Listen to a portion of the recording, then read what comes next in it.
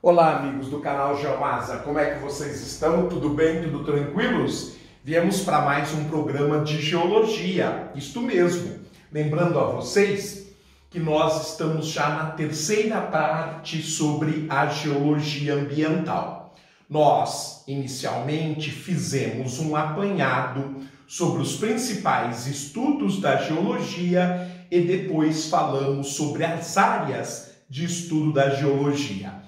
Vamos concluir hoje com a geologia ambiental e vamos começar a estudar a história da geologia, o que é muito saboroso, uma vez que nós vamos ao encontro de outras playlists do canal, já que nós temos uma playlist de história e uma playlist de filosofia, onde nós estamos estudando também Tales de Mileto.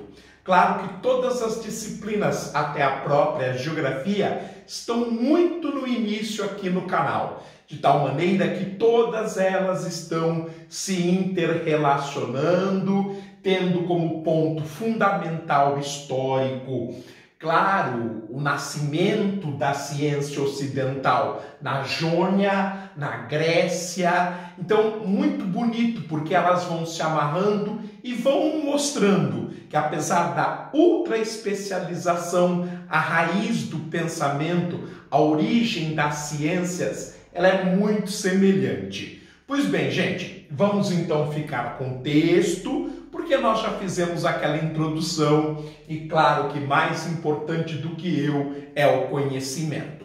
Vejamos então o que nós trouxemos para complementar a fala sobre a geologia ambiental, nós que alertamos para a ocupação que o homem tem feito ao espaço, ocupação impactante e, sobretudo, negligente. Um dos problemas mais graves que a humanidade vem enfrentando diz respeito à água, cada vez mais carente e cada vez mais poluída. Então, por exemplo, o Brasil é um dos países do mundo que mais dispõe de quantidade de água potável. Mas o manejo da água no Brasil, infelizmente, não é conservativo.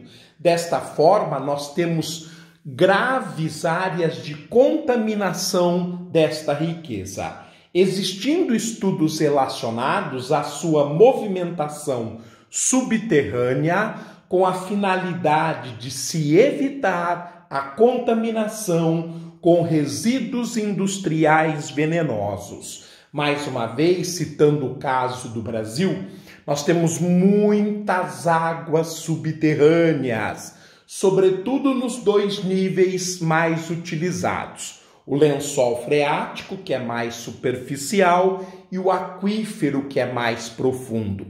E nas áreas de recarga do aquífero, por exemplo, do aquífero Guarani, Aqui mesmo no estado de São Paulo, infelizmente, nós temos um manejo inadequado e contaminação com poluentes, esgotos e até agrotóxicos. Agora nós vamos então partir para o início da história da geologia. Desde que o homem aprendeu a se aproveitar das rochas e minerais, e isso nós acreditamos aqui no Ocidente, que lá se vão 2.700 anos, quando o próprio Tales de Mileto, com um cajado, provavelmente contendo ferro, tocou uma um, um desculpa, um minério, né, uma rocha.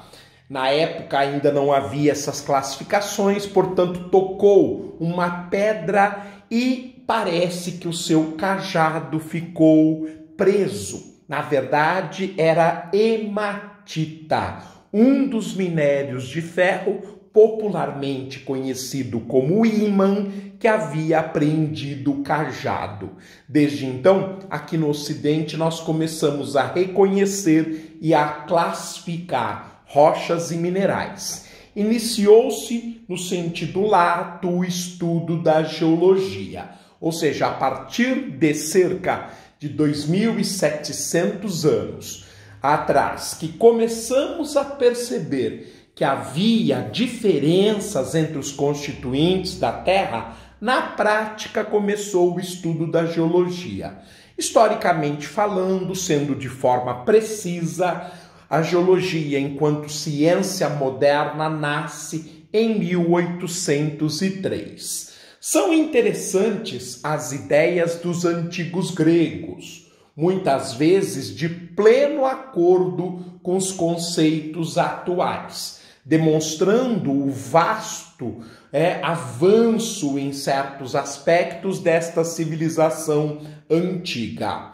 Tais ideias demonstram, contudo, a falta da experimentação e pouca observação direta no campo. E aí entra a geologia moderna, que transita por volta do século XVIII ao início do século XIX, onde a experimentação e a observação do campo, sobretudo de James Hutton e Charles Lyell, começam a dar origem à geologia moderna sendo fruto da inteligência fértil e especulativa, que era uma marca muito grande dos gregos, obviamente imprecisa, mas inicia a ciência e isto em si tem valor. Assim, o primeiro grande pensador reconhecido do Ocidente, Tales de Mileto, Mileto, que era uma cidade da Jônia Jônia, que era uma colônia grega no atual litoral ocidental da Turquia, Tales, que viveu de 636 a 548 a.C., observando os depósitos fluviais da foz dos rios, opinava ser a água o agente formador de toda a terra nós vimos, inclusive, recentemente, na nossa playlist de filosofia, em que nós estamos estudando os três grandes de Mileto, que Tales, muito viajado, sobretudo observando o rio Nilo, vai dizer que o grande agente formador de tudo o que conhecemos era justamente a água. Desta forma, também é apontado como o pai da geologia histórica, da geologia lata, por assim dizer. Meus queridos amigos, estamos ficando por aqui com mais uma contribuição, um novo vídeo sobre o nosso estudo da geologia. Fiquem bem, um forte abraço, até a próxima!